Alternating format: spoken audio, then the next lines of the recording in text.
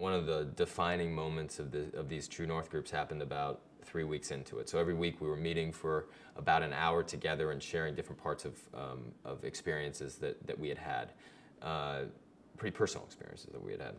And, uh, and, and, and in three weeks we talked about a crucible moment. And what, what that basically was was to distill your, the, the um, vast canvas of experience that you have in, in your life to one key defining moment where that really challenged you and defined you as an individual.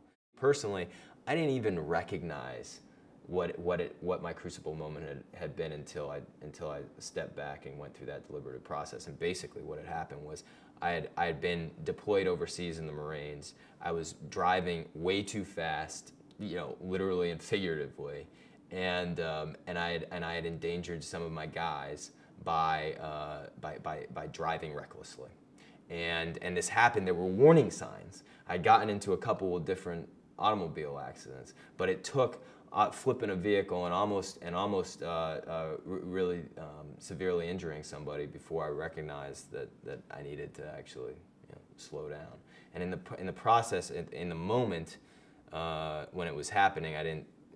I didn't, I didn't put those pieces together. It took the distance, it took the exercise of, of being there with, um, with people who, who uh, you immediately form a, a, a bond of trust with.